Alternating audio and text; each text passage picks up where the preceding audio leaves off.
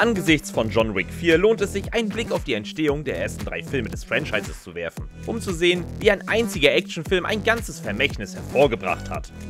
Keanu Reeves hat in vielen berühmten Filmen mitgewirkt. Seine wohl bekannteste Rolle ist aber zweifellos Neo in der Matrix-Reihe. Das vielschichtige Universum der Wachowskis setzte neue Maßstäbe für Actionfilme und gab der Popkultur eine ihrer kultigsten Theorien über alternative Realitäten. Als Neo, der mystische eine, der dazu bestimmt ist, die Maschinen auszuschalten, die die Menschen als Geiseln halten, etablierte sich Reeves als echter Actionstar. Das machte ihn zur idealen Wahl für die Rolle des tödlichsten Killers der Welt, John Wick. Okay, so you need? Besides a miracle. Guns. Lots of guns. Abgesehen von Keanu haben die John Wick und die Matrix-Filmreihe eine Menge an Darstellern und Crewmitgliedern gemeinsam. Die beiden Regisseure des ersten Films, David Leach und Chad Stahelski, waren Stuntmen in Matrix. Der zweite Film der Reihe, John Wick Kapitel 2, brachte Reeves wieder mit Lawrence Fishburne zusammen, den viele als Neos Mentor Morpheus kennen. Eingefleischte Matrix-Fans haben vielleicht auch einen weiteren Cameo-Auftritt gesehen. Randall Duck Kim, der den Schlüsselmacher in Matrix Reloaded spielte, ist ein Arzt im ersten und dritten Wick-Film. Schließlich gibt es in John Wick Kapitel 3 einen Wortwechsel zwischen John und Winston, der Fans von Matrix bekannt vorkommen dürfte. What do you need? Guns. Lots of guns. Keanu Reeves hat viel kreativen Einfluss auf John Wick und arbeitete eng mit dem Drehbuchautor Derek Kolstad zusammen, um seine mysteriöse Figur mit Leben zu füllen. In Anbetracht von Reeves bekanntermaßen großzügiger Natur ist es keine Überraschung, dass er sich an ehemalige Crewmitglieder aus Matrix wandte, um einen großartigen Actionfilm zu kreieren, insbesondere an David Leach und Chad Stahelski. Obwohl Reeves die beiden erfahrenen Kampfchoreografen und Stuntmänner zunächst fragte, ob sie lediglich die Action des Films entwerfen wollten, hoffte er, dass sie auch Regie führen würden und zum Glück für Reeves waren sie mehr als glücklich, diese Herausforderung anzunehmen. Da sie schon oft mit Keanu zusammengearbeitet hatten, waren Leach und Stahelski sowohl mit seinem Können als auch mit seiner Arbeitsweise vertraut, sodass die Stunts und Kämpfe in Wick viel reibungsloser abliefen. Sowohl Leach als auch Stahelski haben ihre Arbeit an Matrix als Inspiration für John Wick und als Wegweiser für ihre gesamte Laufbahn bezeichnet. Stahelski sagte gegenüber Vulture, nach Matrix wurde ich von einem durchschnittlichen Stuntman zu einem der größten Choreografen in der Branche. Ich habe eine Firma gegründet, die sich speziell mit Martial Arts Choreografen beschäftigt. Und daraus sind dann die John Wick Filme und alles andere entstanden. Matrix hat die Branche buchstäblich verändert. In den späten 80er und frühen 90er Jahren verließ Keanu Reeves seine Rolle in albernen Komödien wie Bill Ted's verrückte Reise durch die Zeit und begann Actionfilme wie Gefährliche Brandung und Speed zu drehen. Heute ist er selbst ein erfahrener Stuntman. Er hat im Laufe seiner Karriere unzählige Kampftechniken studiert und viele seiner Stunts selbst ausgeführt. John Wick ist da keine Ausnahme. Um sich auf John Wick vorzubereiten, bestanden Leach und Stahelski darauf, dass Reeves keine seiner früheren Kampfsportkenntnisse einsetzt, sondern für den Film völlig neue Kampfmethoden erlernt. So verbrachte er Monate damit, mit Veteranen von SWAT-Teams und ehemaligen Navy Seals zu trainieren. Reeves übernahm einen Großteil der Stunts in John Wick und die meisten davon ohne Double in John Wick 2. Der dritte Rig enthielt sogar noch mehr todesmutige Aktionen von Reeves und bewies, dass er auch in zunehmendem Alter immer noch mehr als fähig ist, das Publikum mit seiner Stuntarbeit zu verblüffen und mit seinem vollem Einsatz in einer Rolle, die zu einem seiner Markenzeichen geworden ist. Die John Wick-Franchise macht einige offensichtliche Anspielungen auf klassische Action- und Martial-Arts-Filme, lässt sich aber auch von der griechischen Mythologie inspirieren. Im Jahr 2022 sagte der Regisseur der Serie Chad Stahelski gegenüber Variety, Wissen Sie, wir haben John immer als Odysseus angesehen. Odysseus ist natürlich der griechische Held aus der Odyssee, der seine Heimat verließ, um im Trojanischen Krieg zu kämpfen und 20 Jahre lang nicht nach Hause zurückfand. Wie Odysseus ist auch John mehr als nur ein wenig vom Kurs abgekommen. Und seine Abenteuer haben ihn in Kontakt mit einigen mythologischen Figuren mit denkwürdigen Persönlichkeiten gebracht. Sharon, gespielt von Lance Reddick, arbeitet an der Rezeption des Continental und er hat ein Händchen dafür, alles zu finden, was die Gäste brauchen könnten. Seien es hochleistungsfähige Waffen oder ein diskreter Arzt. Charons Name stammt direkt aus der griechischen Mythologie. Der antike Charon ist der Fährmann des Flusses Styx, dem es bestimmt ist, den Seelen zu helfen, für alle Ewigkeit ins Jenseits zu gelangen. Die beiden Charons haben mehr gemeinsam, als man auf den ersten Blick vermuten würde. Beide helfen den Menschen, durch die zwielichtige Schattenseite der Welt zu reisen. Und beide nehmen Goldmünzen als Bezahlung für ihre Dienste an. Ähnlich wie sein mythologisches Gegenstück ist Charon in der John Wick-Serie ein Mann mit wenigen Worten und vielen Geheimnissen. Wie kam er dazu, Teil von John Wicks Welt der Auftragskiller zu werden? Mit etwas Glück wird dieses Thema in einem zukünftigen Film oder Spin-off aufgegriffen. And as always, it is a pleasure having you with us again, Mr. Wick. Das John Wick-Franchise wäre nicht das, was es heute ist, wenn nicht ein riesiges Team von talentierten Leuten zusammenarbeiten würden. Doch die Geschichte selbst würde ohne Derek Kolstad nicht existieren.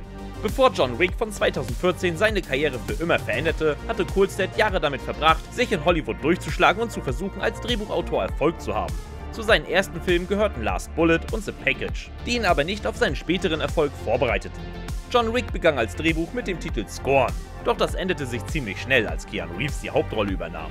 Er überzeugte Kolstad davon, nicht nur den Titel des Films zu ändern, sondern auch den Namen der Hauptfigur. John Wick ist unbestreitbar ein cooler Name, doch Reeves und Kolstad haben sich ihn nicht zufällig ausgedacht. Nein, es ist der Name von Kolstads Großvater, der noch nie einen der Filme gesehen hat. Wie bringt man ein Publikum dazu, mit einem gnadenlosen Killer zu sympathisieren? Abgesehen davon, dass die Rolle mit einem der beliebtesten Schauspieler Hollywoods besetzt wurde, löste der erste John Wick-Film das Problem, indem er seinem Hauptdarsteller einen liebenswerten Poster zur Seite stellte. Wie Fans von John Wick wissen, hinterließ Johns Frau ihm nach ihrem Tod den Beagle Daisy. Sie hoffte, dass John das ruhige, friedliche Leben, das sie sich gemeinsam aufgebaut hatten, beibehalten könnte, wenn er etwas hätte, das er lieben und für das er sorgen könnte. John und Daisy haben eine unmittelbare Verbindung, doch hinter den Kulissen wurde einiges getan, damit sich diese Beziehung echt anfühlt. Reeves hatte sich Speckfett ins Gesicht geschmiert, damit der Welpe nicht widerstehen konnte, ihn anzuspringen und abzulecken. Was mit dem Welpen geschah, nachdem John Wick abgedreht war, ist genauso süß. Er hieß Andy und lebte eine Zeit lang auf der Farm von Animal Acres International. Allerdings war er viel zu süß, um dort lange zu bleiben. Schließlich wurde Andy von einer Familie adoptiert und in Wick umbenannt, sodass er immer eine enge Verbindung zu dem Film haben wird, der ihn zum Star machte. Es gibt nur wenige Schauspieler, die sich ihrem Handwerk so verschrieben haben wie Keanu Reeves. Immerhin macht er die meisten seiner Stunts selbst und das gilt nicht nur für seine Arbeit in der John Wick Franchise. Bei den Dreharbeiten zu Matrix Resurrections sprang Reeves fast zwei Dutzend Mal von einem Gebäude, um die perfekte Aufnahme für den Film zu bekommen. Reeves ist inzwischen weit über 50. Doch das hat ihn nicht davon abgehalten, komplizierte Kampfsportmanöver zu lernen und sich durch langwierige Kampfsequenzen zu bewegen. Vor allem bei der Arbeit am Originalfilm John Wick ging Reeves weit über das hinaus, was von ihm verlangt wurde. In einer der kompliziertesten Szenen des Films kämpft sich John durch einen ganzen Nachtclub voller Bösewichte. Im Kommentar des Regisseurs zum Film verriet Stahelski, dass Reeves während der Dreharbeiten zu dieser Szene eine Grippe hatte. Anscheinend hatte Reeves in den zwei Tagen, in denen die gesamte Nachtclub-Sequenz gedreht wurde, 39 Grad Fieber. Obwohl die Leute ihn aufforderten, aufzuhören und eine Pause zu machen, weigerte sich Reeves und drängte sich von Szene zu Szene durch das, was die erfolgreichste Actionsequenz des Films werden sollte. Bei so vielen epischen Stunts und intensiven Kampfsequenzen können die Dreharbeiten zu einem rasanten Actionfilm durchaus gefährlich sein. Aber was dem Schauspieler Michael Nyquist passierte, ist eine ganz andere Geschichte. Nyquist spielte Vigo Tarasov im Originalfilm John Wick. Er ist der Mann, der John aus der kriminellen Unterwelt entkommen ließ und der enttäuschte Vater des Hundemörders Josef, der gegen den titelgebenden Attentäter des Films verteidigt werden muss. Let us not resort to our baser instincts and handle this like civilized men to move on. Von seiner imposanten Erscheinung bis hin zu seinem Sinn für Morde ist Vigo durch und durch ein russischer Mafioso. Allerdings diente der Hut, den er in einigen Szenen trägt, wohl weniger dazu, seinen eigenen Stil zu zeigen, sondern vielmehr dazu, die Folgen seiner schrecklichen Verletzung am Set zu verbergen. Während der Dreharbeiten wurde Nyquist versehentlich so heftig gegen einen Fensterrahmen gestoßen, dass er fast sein Ohr verlor und in die Notaufnahme gebracht werden musste. Es brauchte 80 Stiche, doch ein plastischer Chirurg konnte Nyquist wieder zusammenflicken. Glücklicherweise ging es ihm gut und der Hut, den seine Figur im Film trug, versteckte die Stiche, während seine Verletzung heilte. Leider verstarb Nyquist drei Jahre nach der Veröffentlichung von John Wick im Alter von 56 Jahren an Lungenkrebs. Michael Nyquist war nicht der einzige Schauspieler, der sich während der Dreharbeiten zu John Wick verletzte. Dennoch Halle Berry hatte während ihrer Zeit am Set mit starken Schmerzen zu kämpfen. Barry trat 2019 in John Wick Kapitel 3 Parabellum als Sophia Ellisrohr in die Welt von John Wick ein, einer Profikillerin mit einem Gespann aus furchterregenden, trainierten Hunden. Sit. I was talking to you, John. Wie Keanu Reeves ging auch Barry bei ihrem Training für den Film aufs Ganze. Sie durchlief eine Art Hitman Bootcamp und lernte eine Vielzahl von Kampftechniken, Waffenfertigkeiten und Tipps zum Umgang mit Tieren, um Sophia zum Leben zu erwecken. Die Oscar-Preisträgerin lernte auch einige anspruchsvolle Choreografien für ihre Szenen. Und während dieser Stunden des Trainings und der Kämpfe brach sich Barry drei ihrer Rippen. Ihre größte Sorge war jedoch, dass ihre Rolle neu besetzt werden könnte, wenn sie sich Zeit zum Heilen nehme. Zum Glück für alle Beteiligten konnte das Rick-Team warten, bis Barry wieder in Kampfform war, sodass sie zu einer der denkwürdigsten Nebendarstellerinnen der gesamten Serie wurde. Keanu Reeves ist schon seit langem ein Actionstar. Als Neo in Matrix lernte er 1999 zum ersten Mal Kung Fu. Doch fast ein Jahrzehnt zuvor sprang er als undercover FBI-Agent Johnny Utah in gefährliche Brandung aus einem Flugzeug. Natürlich weiß Keanu, wie man einen Schlag ausführt und einen Stunt macht. Aber was noch wichtiger ist, er weiß, wie man trainiert und auf sich aufpasst, während er neue Bewegungen lernt. Es ist verständlich, dass Reeves seine Trainingsmethoden im Laufe der Jahre anpassen musste. Im Vorfeld der Dreharbeiten zu Matrix erlitt er eine Rückenverletzung und musste seine Wirbelsäule fixieren lassen. Er erholte sich noch während der Dreharbeiten und in einigen Aufnahmen hinter den Kulissen kämpft er mit einer Halskrause. Heutzutage hat Reeves nicht mehr mit einer so schweren Verletzung zu kämpfen, denn er hat sein körperliches Trainingsprogramm nahezu perfektioniert. Er hat ein einfaches Geheimnis, wie er seinen Körper in Kampfform hält. Und zwar sagte er 2014 gegenüber Today, du musst wirklich kalte Eisbäder nehmen. Jeden Abend. Keanu Reeves mag das Gesicht und der Name des John Wick Franchises sein, aber über die Jahre sind die Fans der einzigartigen Welt und Mythologie der Serie genauso zugetan wie der Hauptfigur. Für alle, die sich für die tieferen Abläufe im Attentäteruntergrund interessieren, gab es nie einen besseren Zeitpunkt, um ein John Wick-Fan zu sein. I'm a huge fan. John Wick. And so far you haven't disappointed.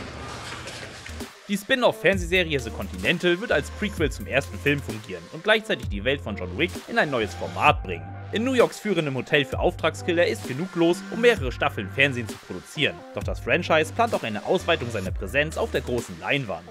Der John Wick Spin-off-Film Ballerina ist noch ein Geheimnis. Allerdings ist bekannt, dass er einen tieferen Einblick auf die mörderische Balletttruppe werfen wird, die in John Wick Kapitel 3 eingeführt wurde. Anna de Armas wird die Hauptrolle der Rooney Brown spielen, einer ausgebildeten Killerin, die Rache an den Leuten nehmen will, die ihre Familie getötet haben. John Wick wird ebenfalls im Film auftauchen. Doch wie er in die Handlung eingreift oder wie dieser Film seine eigene Geschichte beeinflussen wird, bleibt ein Geheimnis.